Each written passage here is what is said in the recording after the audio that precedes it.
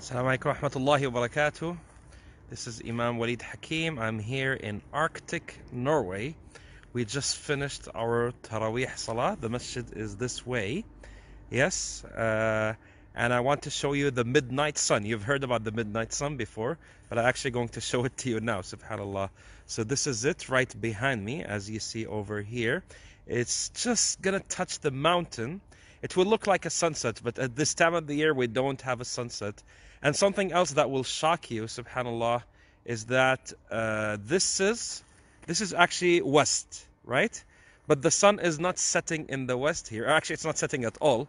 It's actually in our north. Why?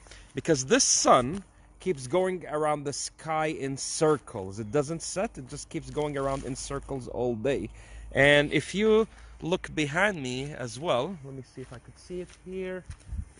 Something else beautiful I want to show you. Yes, here also, uh, um, here we have a full moon. So we have the midnight sun and we have the full moon and the midnight sun is still behind me here in the mountain. You could see it, subhanallah. Fa, you know, I'm going to tell you something uh, very impressive that this actually, this midnight sun was mentioned in Surah Al-Kahf when Allah subhanahu wa ta'ala talks about the story of uh, Zulqarnain alayhi salam and that Allah subhanahu wa ta'ala gave him abilities to travel as far in the earth in the east and as far in the west. And during these uh, travels, Allah subhanahu wa ta'ala says that he went and, and saw some people who Allah did not give any coverings from the sun. لم نجعل لهم قوما لم نجعل لهم من دونها سترة yes that uh, the people who he arrived they were under the sun and they don't have any covering from the sun what does that mean subhanallah at that time when it was revealed uh, the scholars of tafsir have not seen this phenomena because they haven't traveled to these extreme parts of the world but here subhanallah we have it uh, over here the sun and it just went behind the mountain. I'm gonna walk a bit more so it appears again. There you go, you see it again. Subhanallah, I just have to follow the mountain.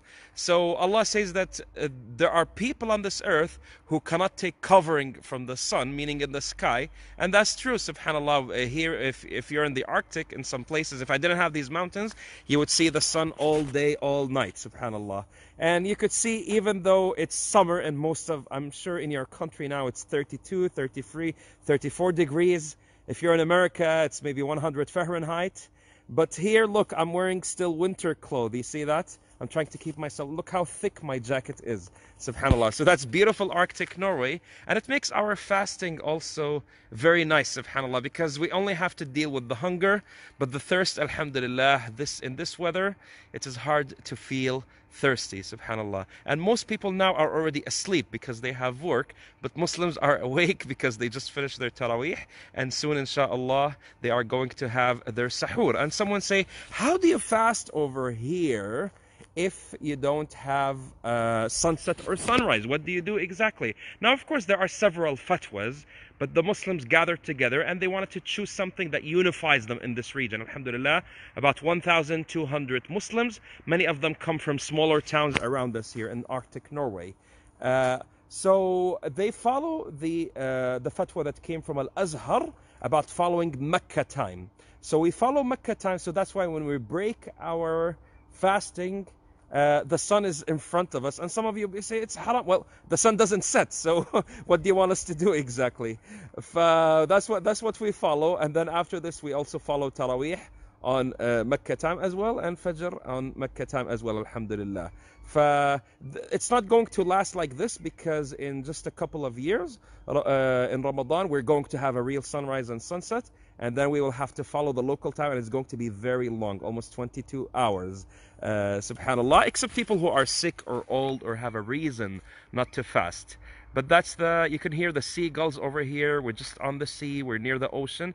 You might say subhanallah how is it uh, it's actually a bit warmer here than most of arctic norway. Why? Even though we are we are above the arctic circle already. We're just a short flight from the north pole.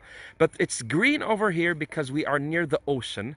And the ocean gets uh, warm waters from the gulf of mexico which alhamdulillah keeps us a bit warmer here in winter Yeah, so that's the uh, that's over here what we're doing in Arctic. Now you could see there is oil refineries here in in Norway because you know that's uh, uh, the Norwegian economy depends on oil in this region. I think if there was no oil, Allah alam, if there would be some people living over here, yes, because most people. Uh, more than 70% or 80% of the Norwegian population is in the south of Norway, and only a small number of people here. And I say, subhanAllah, how, uh, what Allah subhanahu wa ta'ala sent Muslims over here. Why? Because Allah subhanahu wa ta'ala wants people to know about Islam everywhere we go.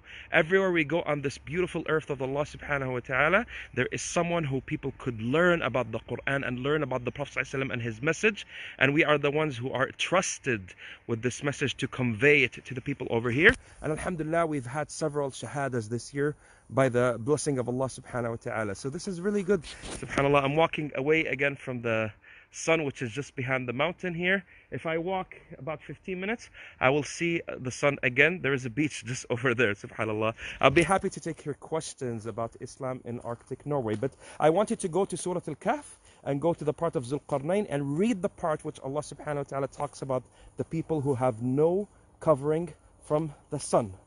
Yes alhamdulillah that we have uh, this over here. It's a very beautiful phenomenon inshallah and again my home is just over here. Inshallah if you come i have a guest room. I would be very happy to host you in my home inshallah. I'm not just saying this. I'm saying this for real inshallah. If you come here the city is called bodo b-o-d-o and you are more than welcome. And i happen to be the imam here alhamdulillah. And inshallah it would be beautiful to have you here. Bye. who is here? Let me see. Mashallah i see my brother tawqir. He's also from norway but he's from the south so they follow the local time. Feel sorry for you السلام عليكم أخي توقير ما شاء الله طيب Okay, so you guys are, I think, uh, some of you are just came back from Taraweeh as well. If you're in Europe, uh, breaking your fast. If you're in America and Canada, you're still fasting.